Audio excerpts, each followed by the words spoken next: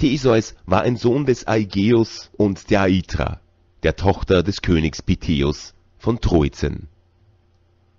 Seine väterliche Abkunft leitete von dem alten König Erechtheus und seinen Athenern her, die, nach der Sage des Landes, dem heimatlichen Boden unmittelbar entstammten.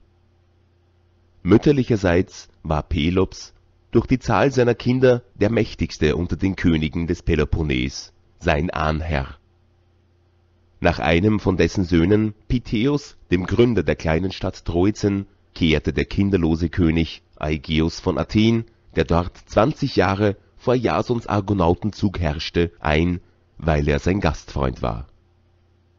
Dieser Aigeus, der älteste der vier Söhne des Königs Pandion, war sehr bekümmert, dass seiner Ehe keine Nachkommenschaft geschenkt war. Er fürchtete nämlich die 50 Söhne seines Bruders Pallas, welche feindliche Absichten gegen ihn hegten und den Kinderlosen verachteten.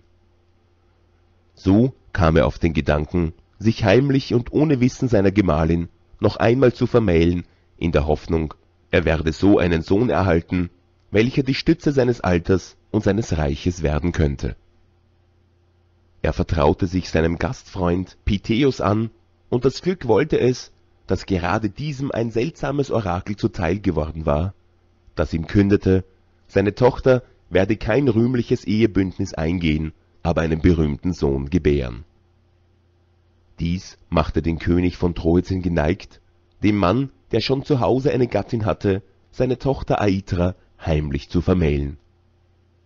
Als dieses geschehen war, blieb Aigeus nur noch wenige Tage in Troezen und reiste dann wieder nach Athen zurück. Als er am Meeresufer Abschied von seiner neu vermählten Gattin nahm, legte er Schwert und Sandalen unter ein Felsstück und sprach Wenn die Götter unserem Bund, den ich nicht aus Leichtsinn geschlossen habe, sondern nur um meinem Haus und Land eine Stütze zu geben, hold sind und dir einen Sohn gewähren, so ziehe ihn heimlich auf und sage keinem Menschen, wer sein Vater ist. Ist er dann herangewachsen und besitzt er die Kraft, das Felsstück wegzuwälzen, so führe ihn an diese Stelle, lass ihn Schwert und Schuhe hervorholen und sende ihn damit zu mir nach Athen. Aitra gebar auch wirklich einen Sohn, nannte ihn Theseus und ließ ihn unter der Fürsorge seines Großvaters Pitheus aufwachsen. Den wahren Vater des Kindes verheimlichte sie, dem Befehl ihres Gatten gemäß, und der Großvater verbreitete die Sage, dass er ein Sohn des Poseidon sei. Diesem Gott erwiesen nämlich die Troizenier besondere Ehre als dem Schutzgott ihrer Stadt. Sie brachten ihm die Erstlinge ihrer Früchte zum Opfer, und sein Dreizack war das Wahrzeichen von Troezen. Aber als der Jüngling nicht bloß zu herrlicher Körperstärke heranwuchs, sondern auch Kühnheit, Einsicht und festen Sinn zeigte, führte ihn seine Mutter Aitra zu dem Stein, unterrichtete ihn über seine wahre Herkunft und forderte ihn auf, die Erkennungszeichen seines Vaters Aigeus hervorzuholen und nach Athen zu segeln. Theseus stemmte sich gegen den Stein und schob ihn mit Leichtigkeit zurück. Er band sich die Sohlen unter die Füße und das Schwert an die Seite. Zur See zu reisen aber weigerte er sich, obgleich Großvater und Mutter ihn inständig darum baten. Der Landweg über den Isthmus nach Athen war nämlich damals sehr gefährlich, weil einsamen Wanderern Räuber und Bösewichte auflauerten. Deshalb beschrieb sein Großvater dem jungen Theseus genau jenen dieser Räuber und Mörder und ihre Grausamkeiten gegenüber den Fremden. Aber Theseus hatte sich längst den Herakles und seine Tapferkeit zum Vorbild genommen. Als er sieben Jahre alt war, hatte dieser Held seinen Großvater Pitheus besucht, und während dieser mit dem König zu Tisch saß und schmauste, durfte unter anderen Knaben der Troezinier auch der kleine Theseus zuschauen. Herakles hatte bei dem Mahl seine Löwenhaut abgelegt. Die übrigen Knaben flüchteten, als sie die Haut erblickten. Theseus aber ging ohne Furcht hinaus, nahm einem Diener eine Axt aus der Hand und rannte damit auf die Haut los, die er für einen wirklichen Löwen hielt. Seit diesem Besuch des Herakles träumte Theseus nachts von dessen Taten, und am Tag dachte er nach, wie er dereinst Ähnliches vollbringen könnte. Auch waren die beiden blutsverwandt, denn ihre Mütter waren Kinder von Geschwistern. So konnte Theseus den Gedanken nicht ertragen, dass er allen Kämpfen ausweichen sollte, während sein Vetter allerorten die Frevler aufstöberte und Land und Meer von ihnen befreite. Was würde, sprach er unwillig, der Gott, den man meinen Vater nennt, von dieser feigen Reise im sicheren Schutz seiner Gewässer denken? Was würde mein wahrer Vater sagen, wenn ich ihm als Erkennungszeichen Schuhe ohne Staub und ein Schwert ohne Blut brächte? Diese Worte gefielen Pitheus, der einst auch ein tapferer Held gewesen war. Die Mutter gab Theseus schließlich ihren Segen, und er ging davon. Der Weg zum Vater Der erste, der ihm in den Weg trat, war der Straßenräuber Periphetes. Seine Waffe war eine mit Eisen beschlagene Keule, mit der er die Wanderer zu Boden schmetterte. Er führte deshalb den Beinamen Keulenschwinger. Als Theseus in die Gegend von Epidaurus kam, stürzte dieser Bösewicht aus einem finsteren Wald hervor und versperrte ihm den Weg. Der Jüngling aber rief ihm zu, Elender, du kommst mir sehr gelegen. Deine Keule passt für den, der als ein zweiter Herakles in die Welt hinausziehen will. Mit diesem Ausruf warf er sich auf den Räuber, erschlug ihn nach kurzem Kampf und nahm seine Keule als Siegeszeichen und Waffe mit. Einem anderen Frevler begegnete er auf der Landenge von Korinth. Es war Sinnis, der Fichtenbeuger, so genannt, weil er, hatte er einen Wanderer in seine Gewalt bekommen, mit seinen riesenstarken Händen zwei Fichtenwipfel herunterzubeugen pflegte.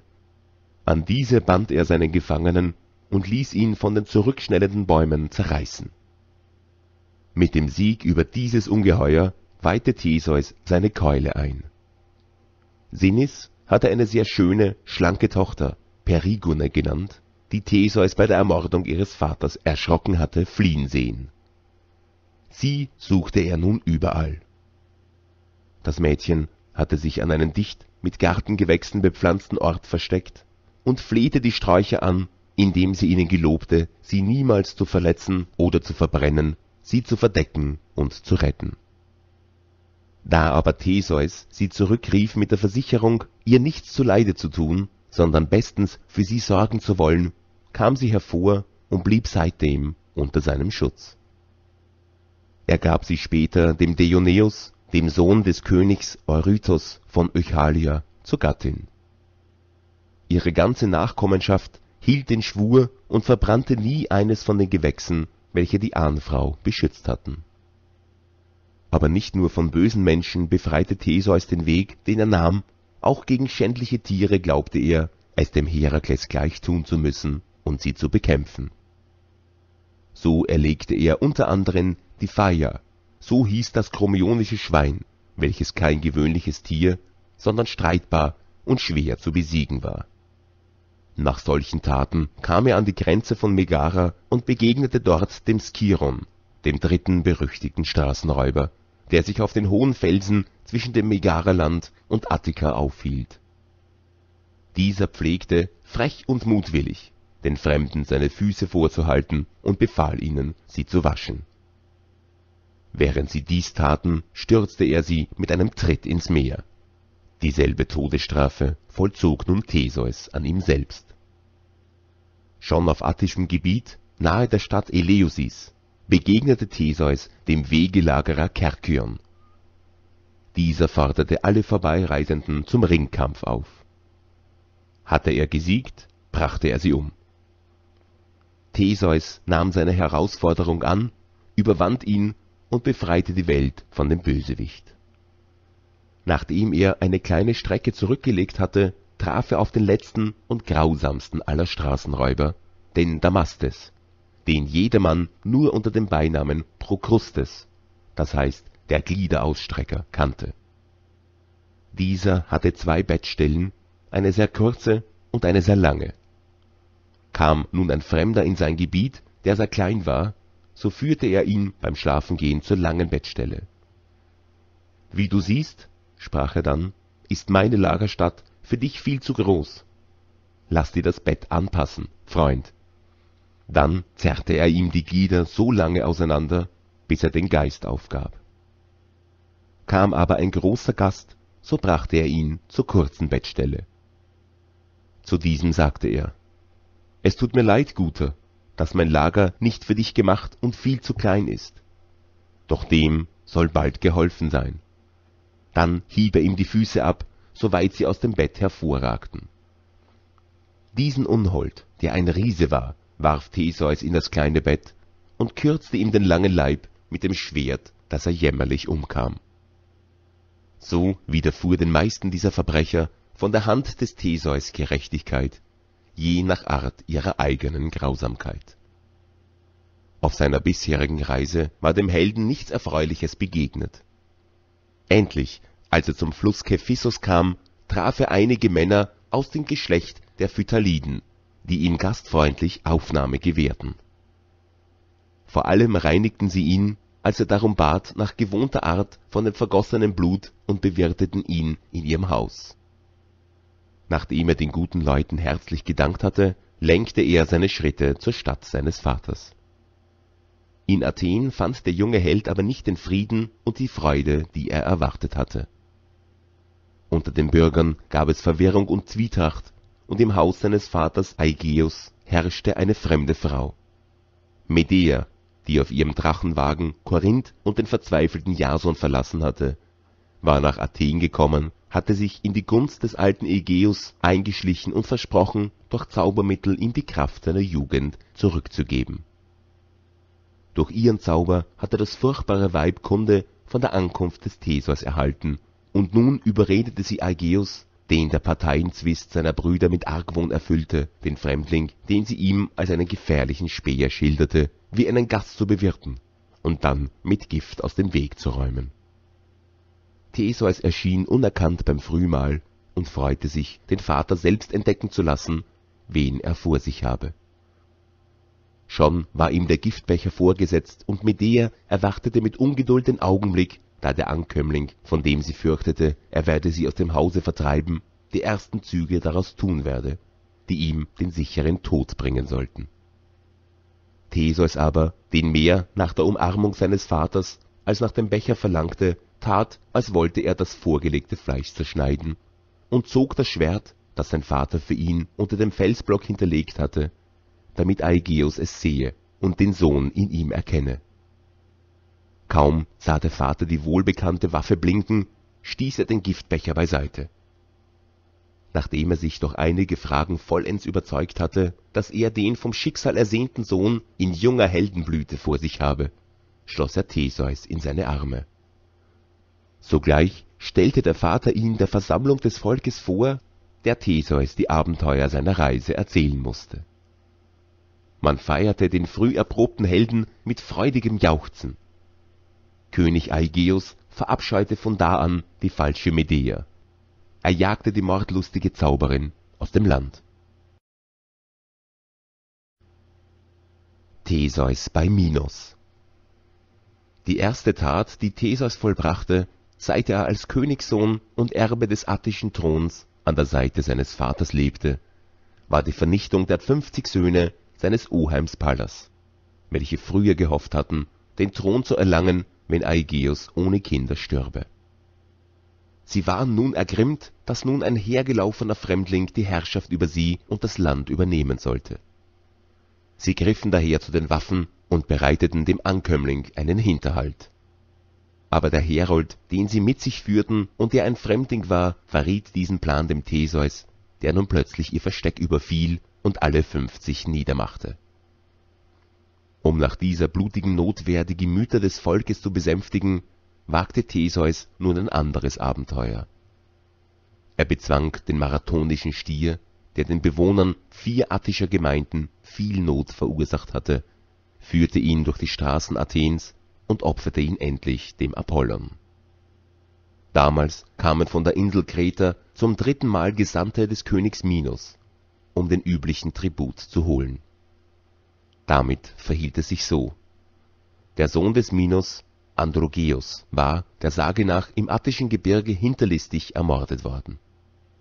Dafür hatte sein Vater die Einwohner mit einem schrecklichen Krieg bestraft und die Götter selbst schickten dem Land Dürre und Seuchen. Da verkündete das Orakel Apollon, der Zorn der Götter und die Leiden der Athener würden enden, wenn sie den Minos besänftigen und seine Verzeihung erlangen könnten. Hierauf wandten sich die Athener bittend an ihn und erhielten Frieden unter der Bedingung, dass sie alle neun Jahre sieben Jünglinge und sieben Jungfrauen als Tribut nach Kreta schickten. Diese seien von Minos in sein berühmtes Labyrinth eingeschlossen worden, und dort habe sie, so erzählt man, der grässliche Minotaurus, ein zwitterhaftes Geschöpf, das halb Mensch und halb Stier war, getötet, oder man habe sie verschmachten lassen. Als nun die Zeit der dritten Tributleistung gekommen war und die Väter unverheirateter Söhne und Töchter sich diesem entsetzlichen Los unterwerfen mussten, entbrannte erneut der Unwille der Bürger gegen Aegeus, und sie begannen darüber zu murren, dass er, der Urheber des Unheils, gleichgültig zusehe, wie ihnen ihre rechtmäßigen Kinder entrissen würden.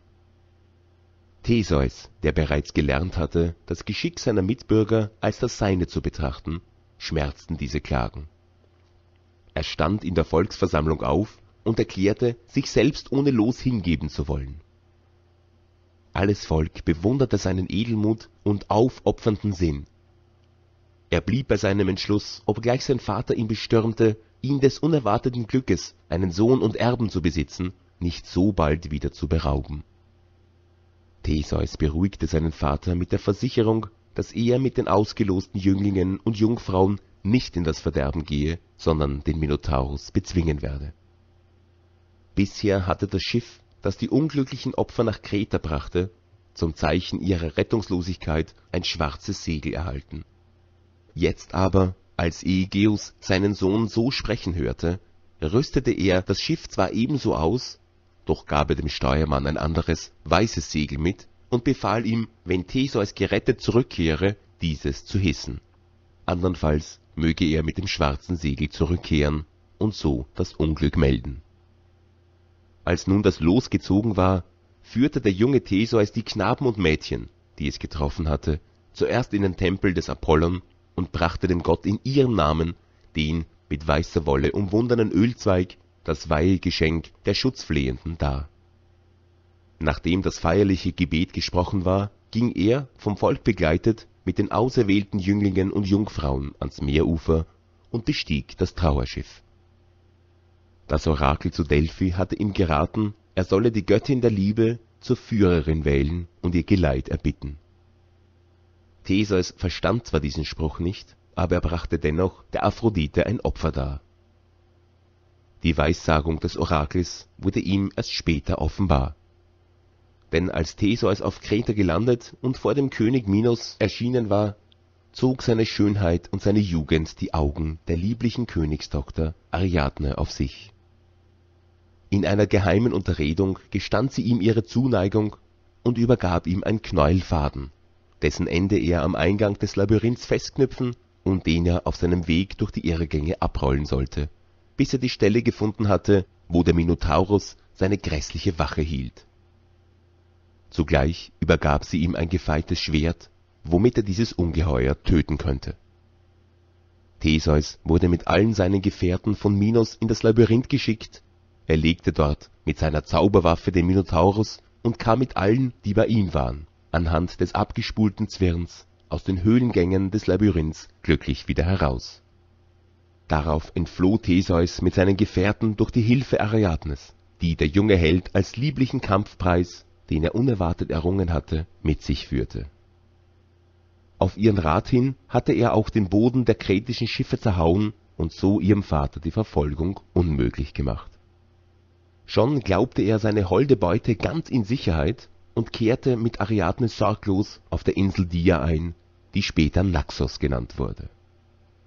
Da erschien ihm der Gott Bakos im Traum und erklärte, Ariadne sei die ihm selbst vom Schicksal bestimmte Braut und verhieß ihm alles Unheil, wenn Theseus ihm die Geliebte nicht überlasse. Theseus war von seinem Großvater in Götterfurcht erzogen worden. Deshalb scheute er den Zorn des Gottes und ließ die wehklagende Königstochter auf der einsamen Insel zurück. In der Nacht erschien Ariadnes rechtmäßiger Bräutigam Pachos und entführte sie auf den Berg Trios. Dort verschwand zuerst der Gott, bald darauf wurde auch Ariadne unsichtbar.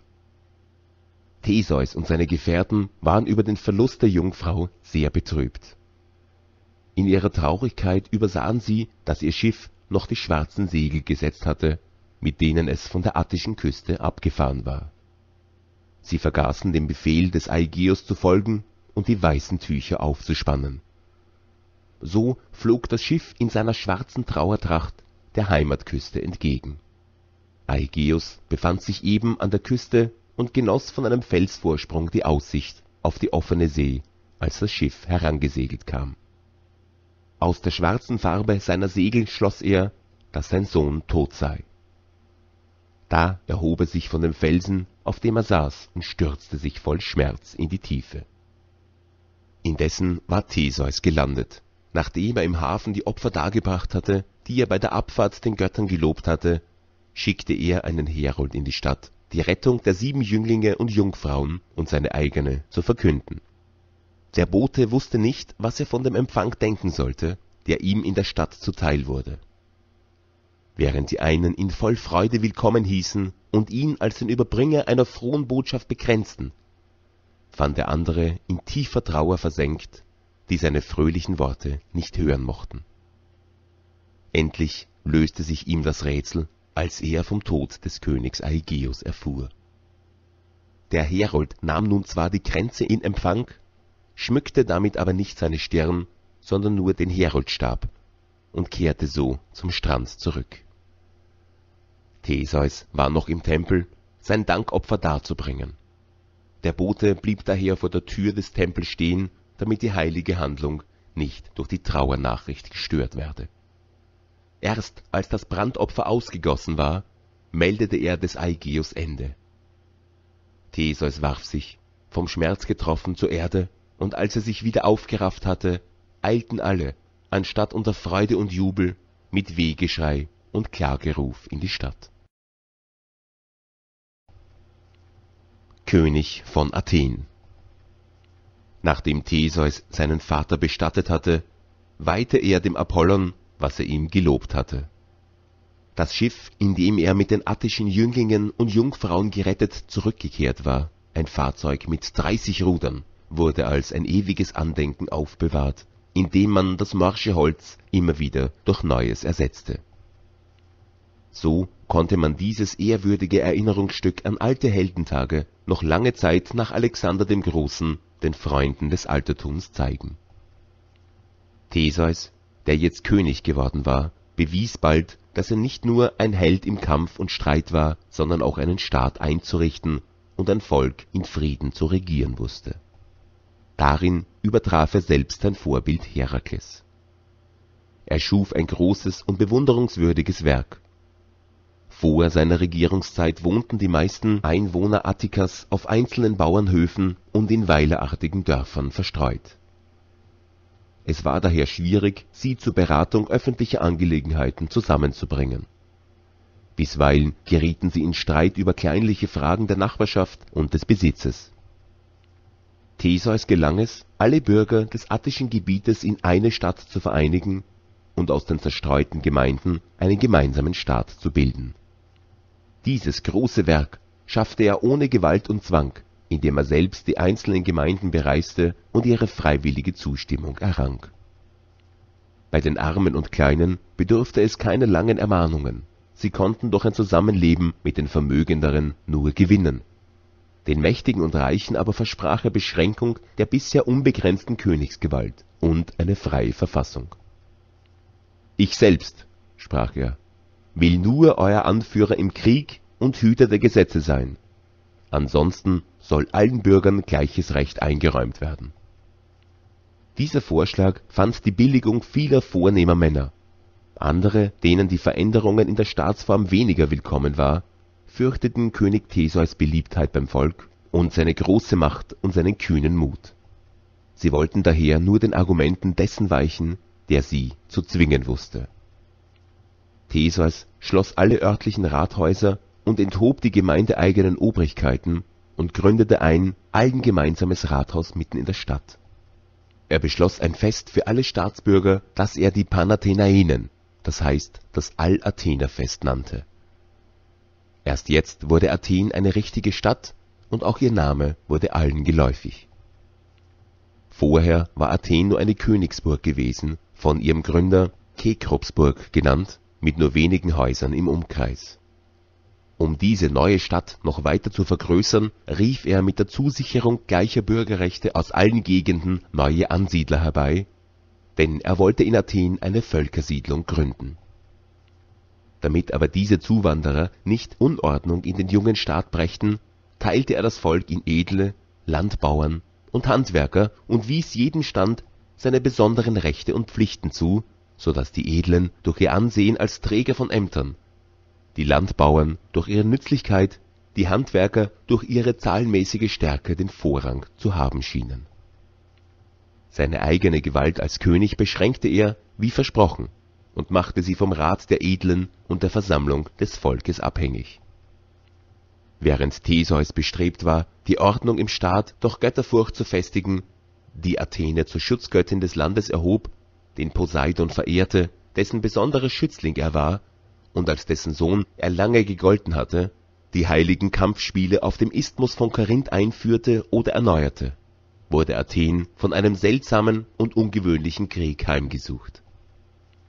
Theseus war nämlich in jüngeren Jahren auf einer seiner kriegerischen Fahrten an der Küste der Amazonen gelandet, und diese, keineswegs männerscheu, machten dem stattlichen Helden kostbare Gastgeschenke. Theseus aber gefielen nicht nur die Gaben, sondern auch die schöne Amazone, die diese überbrachte. Sie hieß Hippolyta, und der Held lud sie ein, sein Schiff zu besuchen. Kaum hatte sie dieses bestiegen, fuhr er mit seinem Raub davon. In Athen angekommen vermählte er sich mit Hippolyta. Diese war nicht ungern die Gemahlin eines Helden und eines so herrlichen Königs. Aber das streitbare Weibervolk der Amazonen war über den frechen Raub entrüstet, und als die Untat längst vergessen schien, sannen sie noch immer auf Rache. Eines Tages, als der Staat der Athener unbewacht schien, landeten sie plötzlich mit ihren Schiffen, besetzten die Küste und umzingelten die Stadt, in die sie bald darauf eindrangen Sie schlugen mitten in Athen ein Lager auf, nachdem die erschrockenen Einwohner sich auf die Burg zurückgezogen hatten. Beide Seiten standen einander abwartend gegenüber. Endlich begann Theseus den Kampf von der Burg herab. Zuvor hatte er dem Orakel gehorchend dem Gott des Schreckens ein Opfer dargebracht. Anfangs wichen die athenischen Männer vor den fremden Mannweibern zurück und wurden bis zum Tempel der Erinnen abgedrängt dann aber entbrannte der Kampf von der Flanke her, dabei wurde der rechte Flügel der Amazonen bis zu ihrem Lager zurückgetrieben. Viele wurden getötet. Von der Königin Hippolyta heißt es, sie habe in dieser Schlacht ihren Ursprung verleugnend an der Seite ihres Gemahls gegen die Amazonen gekämpft. Dabei traf sie ein Wurfspieß und streckte sie tödlich verwundet zu Boden. Ihr zum Gedächtnis wurde später eine Säule in Athen errichtet den Krieg beendete ein Friedensschluss.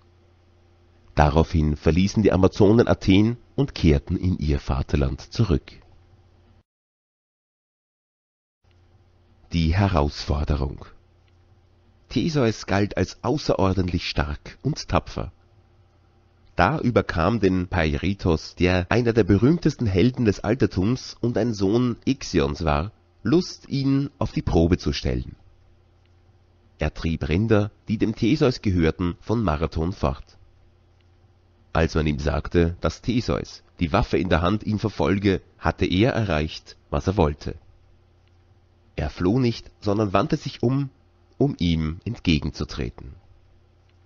Als die beiden Helden einander gegenüberstanden und einer den anderen maß, erfasste jeden von beiden Bewunderung für die schöne Gestalt und die Kühnheit des anderen Ergriffen eilten sie wie auf ein gegebenes Zeichen aufeinander zu und warfen die Waffen zu Boden. Peirithoos streckte dem Theseus die Rechte entgegen und forderte ihn auf, über den Raub der Rinder zu richten. Was Theseus verfügen werde, wolle er freiwillig tun. Die einzige Genugtuung, die ich verlange, erwiderte Theseus mit leuchtendem Blick, ist, dass du mein Freund und Kampfgenosse wirst. Da umarmten sich die beiden Helden und gelobten einander treue Freundschaft. Als bald darauf Peirithoos die thessalische Fürstentochter Hippodamia aus dem Geschlecht der Lapithen zur Gemahlin nahm, lud er auch seinen Waffenbruder Theseus zur Hochzeit. Die Lapithen, in deren Kreis die Festlichkeit gefeiert wurde, waren ein berühmter Stamm Thessaliens, rohe, zur Tiergestalt neigende Bergmenschen, die ersten Sterblichen, die Pferde bändigen lernten. Die Braut aber, die diesem Geschlecht entstammte, hatte nichts mit den Männern dieses Stammes gemein. Sie war lieblich von Gestalt, hatte ein feines, jungfräuliches Antlitz und war insgesamt so schön, dass den Freier Peritos alle Gäste glücklich priesen. Alle Fürsten Thessaliens waren zum Fest erschienen, aber auch die Verwandten des Peritos, die Kentauren, fanden sich ein, jene Halbmenschen, die von dem Ungeheuer abstammten, das die Wolke, welches Ixion, der Vater des Peritos, anstatt der Hera umarmt hatte, diesen geboren hatte, weshalb sie alle die Wolkensöhne hießen. Sie waren die Erbfeinde der Lapithen. Diesmal aber hatte die Verwandtschaft mit dem Bräutigam die Kentauren bewogen, den alten Groll zu vergessen und zum Freudenfest zu kommen. Die festlich geschmückte Burg des Peirithoos war erfüllt von frohem Trubel. Brautlieder wurden gesungen, von Glut, Wein und Speisen dampften die Gemächer. Der Palast konnte nicht alle Gäste fassen. Lapithen und Kentauren, bunt durcheinandergewürfelt, saßen an langen Tischen in baumbeschatteten Grotten beim Mahl. Zunächst verlief das Fest in ungestörter Fröhlichkeit, bis vom übermäßigen Genuss des Weins das Herz des wildesten unter den Kentauren, des Euryton, zu rasen begann und der Anblick der schönen Jungfrau Hippodamia ihn zu dem tollen Gedanken verleitete, dem Bräutigam seine Braut zu rauben. Niemand wusste, wie es gekommen war, niemand hatte den Beginn der unsinnigen Tat bemerkt da sahen plötzlich die Gäste den wütenden Eurytion, wie er die sich sträubende und um Hilfe rufende Hippodämia an den Haaren gewaltsam auf den Boden schleifte. Seine Untat war für die weinerhitzte Schar der Kentauren ein Anstoß, Gleiches zu wagen. Ehe die fremden Helden und die Lapithen sich von ihren Sitzen erhoben hatten, hielt schon jeder der Kentauren eins der thessalischen Mädchen, die am Hof des Königs dienten oder als Gäste bei der Hochzeit waren, als Beute in seinen rohen Händen die Burg und die Gärten glichen bald einer eroberten Stadt. Schnell sprangen Freunde und Verwandte der Braut von ihren Sitzen empor. Welch Verblendung treibt dich, Eurytion, rief Theseus, den Peritos zu reizen, der mein Freund ist, und so gleich zwei Helden zu kränken. Mit diesen Worten drang er auf den Rasenden ein und entriss dem wütenden Räuber seine Beute. Eurytion sagte kein Wort, denn er konnte seine Tat nicht rechtfertigen, sondern erhob seine Hand gegen Theseus und versetzte ihm einen Schlag auf die Brust. Da ergriff Theseus, der keine Waffe zur Hand hatte, einen ehernen Krug, der zufällig neben ihm stand. Diesen schmetterte er dem Gegner so wuchtig ins Antlitz, dass er rücklings in den Sand fiel und Gehirn und Blut zugleich aus der Kopfwunde traten. Zu den Waffen! scholl es jetzt an den Kentaurentischen. Zuerst flogen Becher, Flaschen und Näpfe, dann packte ein tempelschänderisches Untier die Weihgeschenke in den benachbarten heiligen Städten. Ein anderer riss die Kerzenleuchte herab, die über der Festtafel hing. Ein anderer wieder focht mit einem Hirschgeweih, das die Wände der Grotte als Weihgeschenk schmückte. Ein grauenhaftes Gemetzel wurde unter den Lapiden angerichtet. Rötos, der schlimmste nach Eurytion, riss die größte Brandfackel vom Altar und bohrte sie einem schon verwundeten Lapithen wie ein Schwert in die klaffende Wunde, dass das Blut zischte wie Eisen in der Esse. Gegen ihn erhob der tapfere Lapithe Dryas einen im Feuer gegühten Pfahl und durchbohrte den Feind zwischen Nacken und Schulter. Der Fall dieses Kentauren tat dem Morden seiner rasenden Gesellen Einhalt. Und Dryas rächte seine Freunde, indem er fünf Kentauren hintereinander niederstreckte. Jetzt flog auch das Speer des Helden Peirithoos durch die Luft und durchbohrte einen riesigen Kentauren, den Petraios, wie er gerade einen Eichenstamm aus der Erde reißen wollte, um damit zu kämpfen, so wie er den Stamm eben umklammert hielt, heftete der Speer seine schwer atmende Brust ans knorrige Eichenholz. Ein anderer Kentaur, Dictys, fiel unter den Streichen des griechischen Helden und knickte im Fallen eine mächtige Esche. Ein nächster wollte diesen rächen, wurde aber von Theseus mit einem Eichpfahl zermalmt. Der schönste und jugendlichste unter den Kentauren war Kylaros, goldfarben, sein langes Lockenhaar und sein Bart, sein Antlitz freundlich, Nacken, Schultern, Hände und Brust wie vom Künstler geformt. Auch der untere Teil des Körpers, der Rossleib, war ohne Fehl, der Rücken bequem zum Sitzen, die Brust hochgewölbt und pechschwarz nur Beine und Schweif von heller Farbe. Er war mit seiner Geliebten, der schönen Kentaurin Hylonome, beim Fest erschienen, die sich beim Mahl liebkosend an ihn lehnte und auch jetzt mit ihm vereint im wütenden Kampf an seiner Seite focht. Kylaros empfing von unbekannter Hand eine leichte Wunde ins Herz, dass er sterbend seiner Geliebten in die Arme sank. Hylonome koste seine sterbenden Glieder, küsste ihn und versuchte den entfliehenden Atem aufzuhalten. Als sie den Geliebten sterben sah, zog sie ihm den Wurfpfeil aus dem Herzen und stürzte sich hinein. Noch lange wütete der Kampf zwischen den Lapithen und den Kentauren, bis die letzteren vollends besiegt waren und nur Flucht und Nacht sie vor der Vernichtung bewahrten. Jetzt machte keiner mehr Paeritos seine Braut streitig und Theseus verabschiedete sich am anderen Morgen von seinem Freund. Der gemeinsame Kampf hatte das junge Band ihrer Bruderschaft zu einem unauflöslichen Knoten geknüpft. Theseus Ende Lange Zeit schon regierte Theseus, da kam es immer wieder zu Empörung und Aufstand gegen ihn, die stets Menestheus anführte, hinter dem die Partei der Edlen stand die immer noch sich nach Pallas, seinem Oheim, und dessen besiegten und erschlagenen Söhnen Palantiden nannten. Die den Theseus früher gehasst hatten, vergaßen allmählich die Furcht vor ihm, und das gemeine Volk war von Menestheus so verwöhnt worden, dass es, anstatt zu gehorchen, sich nur zu gerne von ihm schmeicheln ließ. Anfangs versuchte es Theseus mit Härte. Als aber aufwiegerische Umtriebe und offener Widerstand all seine Bemühungen vereitelten, beschloss der glücklose König, seine unbotmäßige Stadt freiwillig zu verlassen, nachdem er schon vorher seine Söhne Akamas und Demophon heimlich nach Euböa zu dem Fürsten Elephenor gebracht hatte. In Gargethos, einem kleinen attischen Dorf, stieß er feierliche Verwünschungen gegen die Athener aus. Noch lange nachher zeigte man hier das Verwünschungsfeld. Dann schüttelte Theseus den Staub von seinen Füßen und schiffte sich nach Skyros ein wo er meinte, besonders gute Freunde zu haben, denn er besaß dort ansehnliche Güter, die er von seinem Vater geerbt hatte. Damals war Lykomedes Herrscher auf Skyros.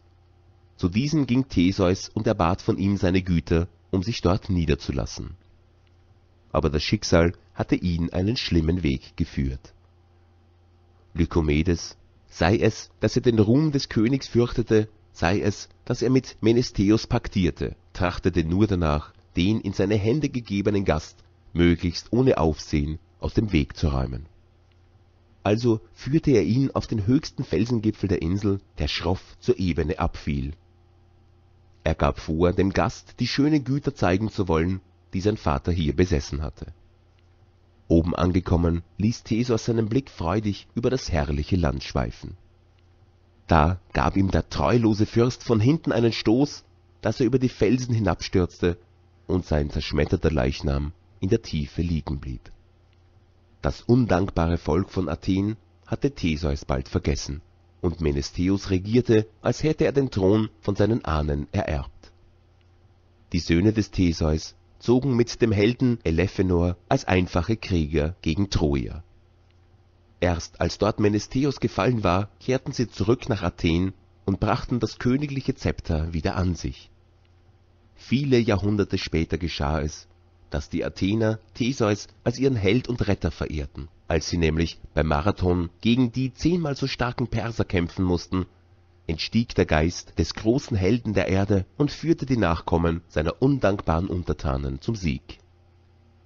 Darum befahl das Orakel zu Delphi den Athenern, nach Beendigung jener glorreichen Kriege gegen die Perser die Gebeine des Theseus heimzuholen und ehrenvoll zu bestatten. Aber wo sollten sie diese suchen? Und sollten sie auf der Insel Skyros das Grab auch gefunden haben, wie konnten sie seine Überreste den rohen Barbaren entreißen? Da fügte es das Schicksal, dass der berühmte Athener Kimon, der Sohn des Miltiades, auf einem seiner Feldzüge die Insel Skyros eroberte. Während er nun mit großem Eifer das Grab des Nationalhelden suchte, sah er plötzlich über einem Hügel einen Adler schweben. Er verweilte an dieser Stelle und sah bald, wie der Vogel herabschoss und die Erde des Grabhügels mit seinen Krallen aufscharrte. Kimon erkannte in diesem Zeichen eine göttliche Fügung, ließ nachgraben und fand tief in der Erde einen Sarg und darin einen großen Leichnam, daneben eine eherne Lanze und ein Schwert. Weder er noch seine Begleiter zweifelten daran, des Theseus Grab gefunden zu haben. Die ehrwürdigen Überreste wurden von Kimon auf ein schönes Kriegsschiff mit drei Ruderbänken geschafft und nach Athen gebracht, wo man das Schiff mit Jubel, Umzügen und Opferfeiern empfing. Es war, als sei Theseus selbst in die Stadt zurückgekehrt. So beglichen Jahrhunderte später die Nachkommen dem Begründer der Freiheit und Bürgerverfassung Athens den Dank, dem ihm eine schnöde Welt schuldig geblieben war